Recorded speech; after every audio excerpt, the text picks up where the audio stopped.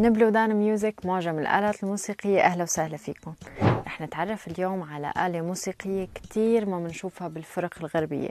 حاليا موجودة بفرق موسيقى الشباب يلي بتتكون من جيتار أورج bass guitar وما بتخلو هاي الفرق من هاي الآلة الإيقاعية.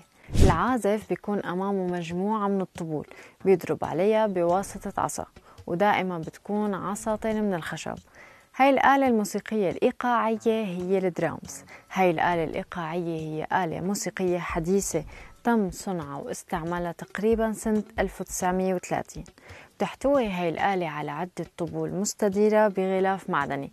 بتوسطها طارة مصنوعة من البلاستيك وهي يلي بتصدر الصوت عند الطرق عليها. أيضا يعتبر من مكوناتها الأساسية مجموعة من الصنوج المعدنية ويلي بتصدر من مادة النحاس.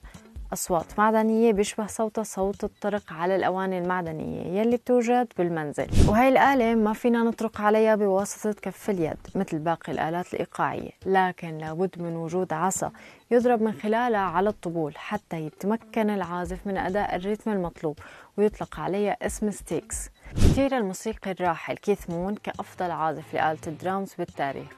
وينسب لكيث مون تطوير آلة الدرامز وتقديم ألوان موسيقية سابقة لعصره ولقب بأسطورة الدرامز. شبهت طريقة عزفه بلعب التنس فكان يتحرك بحماس قاري عن طبوله وكأنه عم يضرب كرة التنس بالمضرب.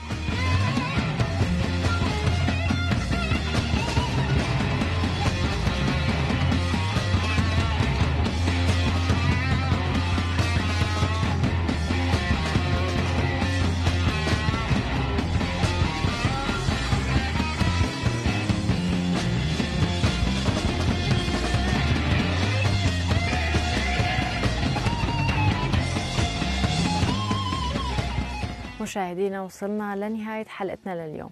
لاقونا بالحلقة الجاية وأكيد ما تنسوا تتابعونا على فيسبوك إنستغرام وأكيد على قناتنا على اليوتيوب. bye bye.